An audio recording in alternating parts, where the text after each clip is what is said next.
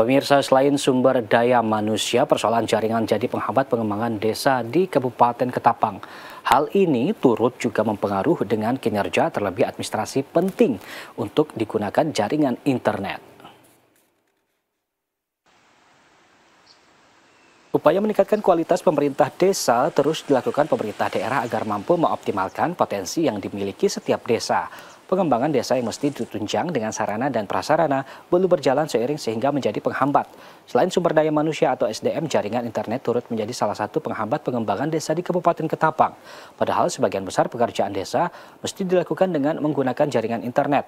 Kepala Dinas Pemdes Kabupaten Ketapang Mansyad mengatakan menyangkut jaringan internet ini memang menjadi persoalan yang hingga saat ini masih menjadi atensi.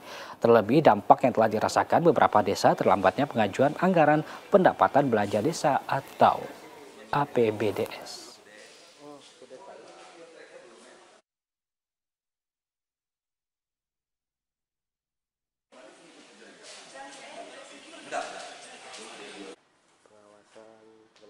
Karena juga menyangkut uh, hal-hal uh, baru, mungkin mereka kan masih kaku karena kita sekarang kan menggunakan sistem digital semua.